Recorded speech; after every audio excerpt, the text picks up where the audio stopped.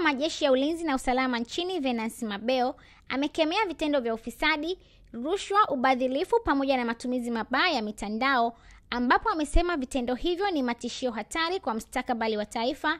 Hivyo amewataka wananchi kujitahidi kuwa wazalendo na kuweza kuendelea kuishi kwa amani. Hayo ameyasema Februari 27 mwaka huu wakati wa kumbukizi ya vita ya Majimaji na utalii wa, kita, wa kitamaduni yaliyofanyika viwanja vya Mashujaa mjini Songea. fanyia taifa hili na sisi tukakumbukwa baada ya kumaliza maisha yetu hapa duniani. Je, tutakumbukwa kwa mabaya tu? Hakuna mazuri ambayo tutaonyesha kwamba tumelifanyia taifa letu? Je, tutakumbukwa kwa ubadhirifu wa mali ya umma? Je, tutakumbukwa kwa ufisadi? Je, tutakumbukwa kwa ukatili mbalimbali? Nadhani siku hii ya leo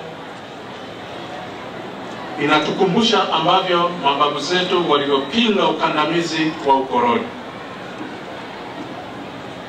Mashujaa hawa tunaowakumbuka hii leo wanadhihirisha kwamba walikuwa na moyo wa uzalendo kwa taifa letu, kuthamini na kulinda utu wao, dola yao, mila, desturi, utamaduni na rasilimali kwa ajili ya ustawi wa taifa letu.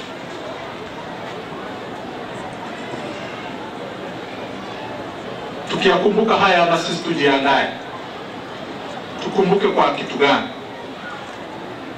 Kwa upande wake, naibu katibu mkuu wizara ya maliasili na utalii Dr. Alois Nziku amesema serikali inafanya jitihada za kuhakikishwa kichwa cha shujaa Songea Mbano pamoja na mali zingine zinarudishwa nchini, ambapo familia ya shujaa huyo wakiwemo wanaye au wajukuu watapimwa vinasaba ili kuweza kukitambua kichwa chake, kwani kuna vichwa zaidi ya kumi na tano ambavyo vilichukuliwa na Wajerumani ili kwenda kuvipima.